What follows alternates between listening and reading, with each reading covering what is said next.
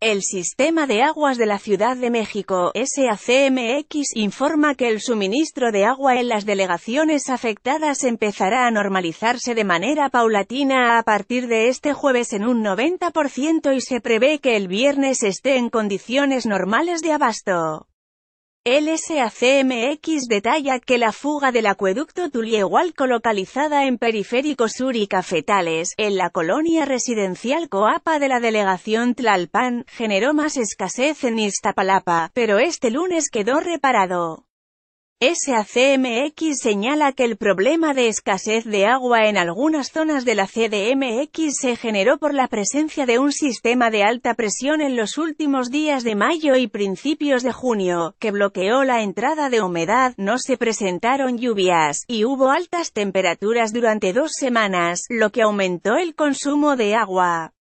Conforme a los pronósticos meteorológicos, se espera que a partir de este 12 de junio se restablezca la temporada de lluvias y con ello se regrese al patrón de consumo habitual a esta época en la ciudad, con lo que se podrá continuar con la normalización del servicio. El SACMEX exhorta a los usuarios a hacer un uso responsable del agua. En apoyo a las medidas adoptadas, el gobierno capitalino implementa el suministro por medio de pipas, poniendo a disposición de los usuarios el número telefónico del SACMX 5654-3210 con 10 líneas, y los números telefónicos de las delegaciones.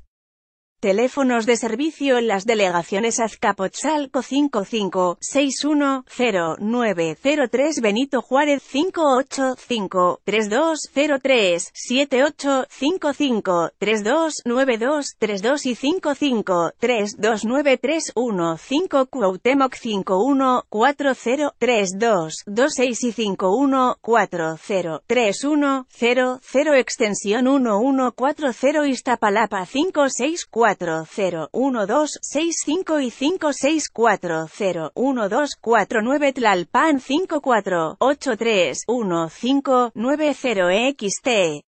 1320 Contraloría 51304444 XT 1327 y 1328 SACMX 56543210 con 10 líneas Locatel 56581111 apenas ayer, vecinos de las colonias El Manto y Barrio San Miguel, en la delegación Iztapalapa, se manifestaban en Ermita Iztapalapa y San Lorenzo, por la escasez de agua potable.